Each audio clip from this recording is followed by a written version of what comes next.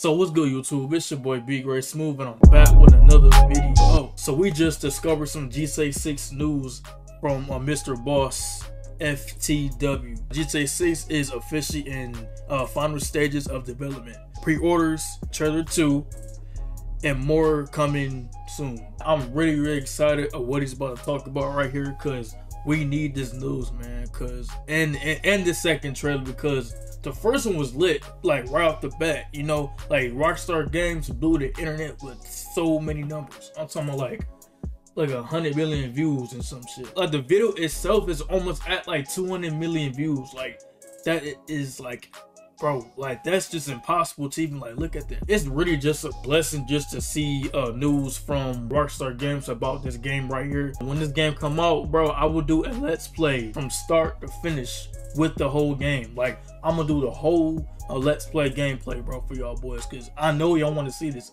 I do too. Like I will not let y'all down, man, cause I will let y'all know. And when I will start, when y'all see me upload this, bro, y'all gonna see. You know what I'm saying? Cause y'all gonna see, bro. Y'all will see the full entire let's play of the whole entire game. So y'all will not get so bored. All right, cause we are ready. All right, we just ready to see you know, GTA 6 come out next year. 2025 is gonna be like the most like interesting year of my life because it's so much is about to go down next year. 2024 just started, so it's like we got months and months and months to go before this comes out. Like, share, subscribe if you're new to the channel only, and please turn on those post notifications if you guys want to see me more. Want to upload more and more and more on this channel, bro. You know what I'm saying because that will help me a lot on this channel. Go drop a like and go comment below, man. Again, and go subscribe. And without further ado, let's get into the video. It's just got some huge official news. It looks like Rockstar Games is in the final stretch of development, which could mean things are ramping up for more details to be revealed and possibly even the game avoiding a delay. We'll be talking about all of that in this video today and a whole lot more. So this is coming from Jason Schreier over at Bloomberg. I will leave a link to the article in the description. If you're unfamiliar with Jason's work, he has had reputable Rockstar Games info in the past, particularly on Grand Theft Auto 6 and the details before we knew anything about the title, like that it was going to be returning to Vice City, featuring a female main protagonist and a whole lot more. Long story short, Jason is 100% credible. And this was the title of his article. Grand Theft Auto maker Rockstar Games asks workers to return to office five days a week. Oh, Going okay. on to say, Rockstar Games, a division of Take Two Interactive Software Inc., will ask employees to return to the office five days a week beginning in April as the video game maker enters the final stages of development on its next game, the hotly anticipated Grand Theft Auto 6. So I'm going to do my best here in this video to focus on Grand Theft Auto 6, the development and what that means. I don't feel like I'm in the position to have a proper opinion on the pros and cons of working from home versus returning to the office as I've never worked in an office. I've been in the very fortunate position of doing YouTube for almost like 12 or 13 years now since I was a teenager. And so because of that, I don't want to inject my opinion opinions on something that I don't feel like I really am allowed to have an opinion on because I've never done it that way. So I will leave it up to you guys in those comments down below on everything we discuss in this video today, but let's continue on with the article. In an email to staff on Wednesday, reviewed by Bloomberg, Rockstar head of publishing Jen Kolbe. Wait, so one thing, bro. They want to have all these employees return to the office for five days a week, bro. Bro, five days a week. So this guy really wants this game to be the best. In order to let this game be the best, I want you guys in the office for like five days a week, every week. All right, because I want this game to be good. All right, I know you don't want to be here, but we got to make this happen. You know, you know, cause like I like that energy. You know what I'm saying? I like the energy from the guy. You know, I love it a lot. I just love it, man. B said the decision was made Dang. for productivity and security reasons. The company has faced several security breaches, including a massive dump of early footage of the new Grand Theft Auto and an early trailer that leaked in December. So you can understand the security reasons part of this. I feel like Grand Theft Auto 6 has suffered a massive amount of leaks, whether it be the Grand Theft. Yeah, yeah, man, them leaks really do. It really is a clue because people are really trying to find out what's next, you know? And this is why people drop leaks and stuff like that. You know, that's like part of the clues that we've saw already. You know, cause like this is not the first time it happened. Like this is not the first time. You know, I mean, I, I don't know, man, cause I don't know, bro. Somebody probably got um the trailer too. I mean, like somebody probably might have it, but Daughter no, 6 trailer I mean, releasing early. Now, I don't know if that has anything to do with work from home or like a rogue YouTube employee, but I do know that the early footage that was revealed back in September 2022, the hacker was able to get access to that because of a program that Rockstar wow. Games employees used Crazy. that allowed them to more easily work from home, where they could transfer files and communicate back and forth from their computers at the office. And if they are entering the final stages of development, you can best be assured that Rockstar Games doesn't want any more leaks to happen on Grand Theft Auto 6. And as far as a productivity standpoint of things, if they are truly in the final stages of development, you can only anticipate that they are really going to start ramping things up in terms of trying to get out this game and could possibly lead to not having a delay, which would be awesome. Now, the article goes on to say Kolbe wrote that the company also found, quote, tangible benefits from in person work, saying making these changes now puts us in the best position to deliver the next Grand Theft Auto at the level of quality and polish we know it requires, along with the publishing roadmap that matches the scale and ambition of the game. So obviously I do not work at Rockstar Games, so I can't tell you about what tangible benefits that might be for working in an I mean, hey, hey, man, you're right because like, we don't know anything yet. You know, I don't want to just quote anything of what you're talking about because like Rockstar Games is the head leader. Because like I really can't like say anything what's true, what's not true. Like I really can't say anything because we don't know anything.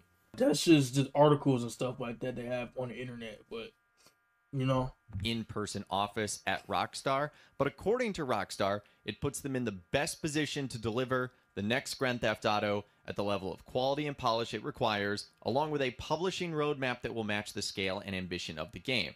So essentially, what we're getting at here is Rockstar Games is seeking perfection all the way around, not only with the game itself, but how things are going to work really in the next year or so as we lead up to 2025 the release year of the game. And I feel like that is something that has been echoed from the top and their parent company Take Two Interactive. We've heard from executives like CEO Strauss Zelnick that has said that Rockstar is seeking perfection with Grand Theft Auto 6. They basically have to because all the titles they've created have been absolute, you know, blockbuster hits. And so because of that, in order to guarantee that perfection, it looks like they're making all of their employees return to the office. Now, the article goes on to say return to office mandates have been a hot topic across various industries since the pandemic forced myriad employees to work from home.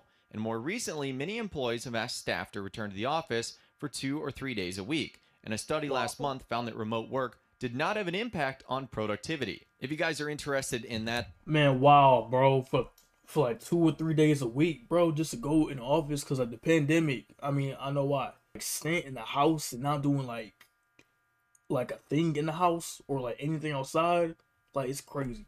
All you can do is like stay in the house. The people that are Rockstar really hired, like they really have these niggas come in for like three days a week, bro, because of the whole um uh, pandemic thing. This could really happen because everybody is back. You know what I'm saying? Like everybody is working, so we just can't like waste like any more time with the delays and stuff like that. So that's also on the website Bloomberg. I'll leave a link to it in the description. The title is Remote Work Doesn't Seem to Affect Productivity. Fed study finds. And the last thing the article goes on to say the issue has been particularly controversial among video game workers thanks to the volatility of the industry and its lack of a centralized workforce. Many of 2023's biggest video game hits, such as Marvel's Spider Man 2 from Insomniac Games. Oh, yeah, bro. That game, I ain't gonna lie, bro.